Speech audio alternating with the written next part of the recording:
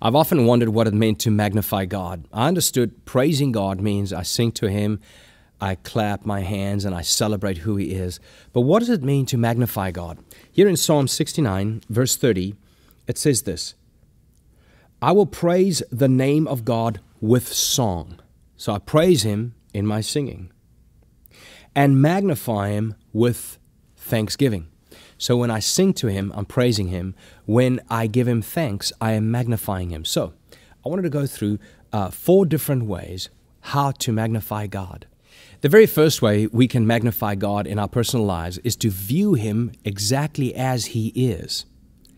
He is glorious, He is marvelous, He is wonderful, He's omnipotent, He's omniscient, He's almighty. He is sovereign. And we have to view him exactly as the Bible defines him to be, instead of as the world requires for him to be, which is basically a spineless marshmallow. He needs to be everything they want for him to be. But we, we have to view him as the Bible shows for him to be.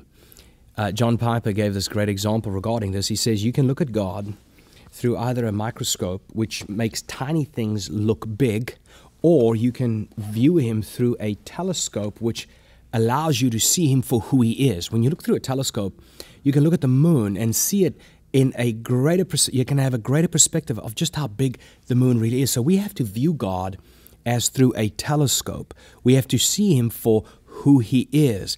We're not trying to make him bigger and enlarge him. No, we want to see him for what he is. So, the very first way we can magnify him is to have a biblical perspective and view of who he really is. He is sovereign, he is God. There's no one like him. He is the creator of the heavens and the earth. He's created the heavens and the earth with his word. He spoke it into being and he upholds it with that same word. That's a fantastic thought to have and perspective to have of God. The second way of magnifying God is connected to the first way. The first way of magnifying God is seeing Him for who He is by looking at scriptures and allowing Him to become great in our perspectives, in our view. Just like looking through a telescope at the moon, you have a greater perspective. So we look at scriptures to have a greater perspective of how almighty, omniscient, all powerful God really is.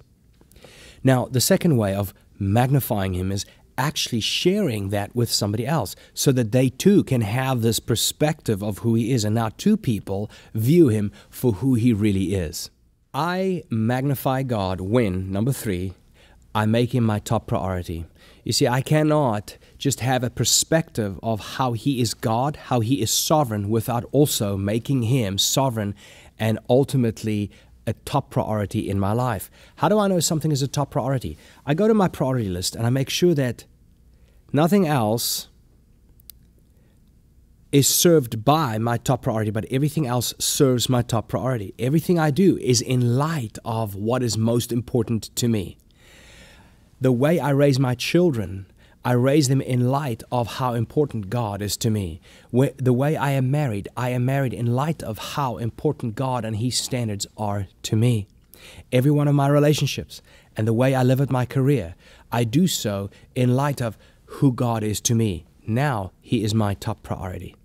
Number four, I magnify God when I give Him thanks.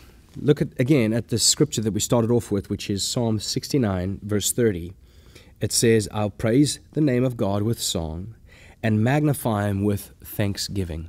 You see, the moment I give thanks to somebody, I'm acknowledging their goodness to me. I'm acknowledging that they are the giver and I am the receiver. It is better to give than it is to receive. The giver is, is more glorious than the receiver.